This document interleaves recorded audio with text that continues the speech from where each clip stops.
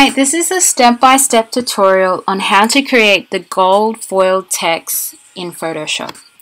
First you want to open up Photoshop, new,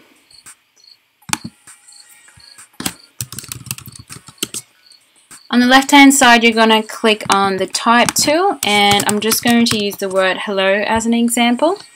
The font I'm using for this is called Cheddar Jack. Cheddar Jack is a free font on dafont.com and I'll add the links down below. It's a really popular font at the moment as it's quite similar to the fonts used in the magazines such as Elle Magazine and the Collective Hub.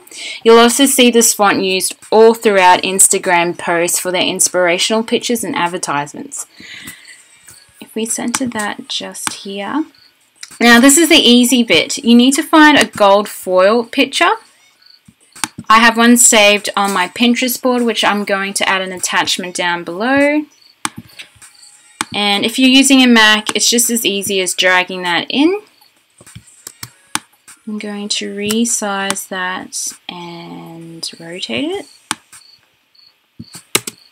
Now, once you have the picture over your text, you're going to make sure it's selected.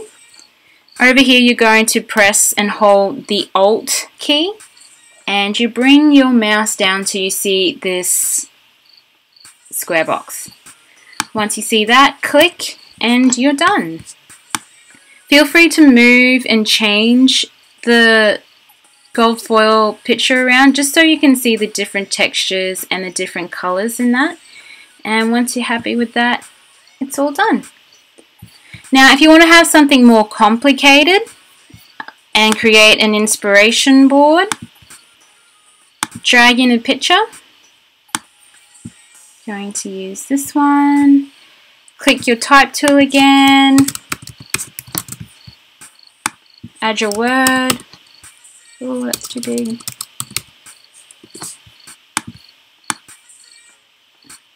Going to put that there.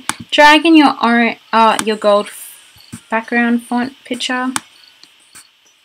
I'll rotate that. Like the darker sides there.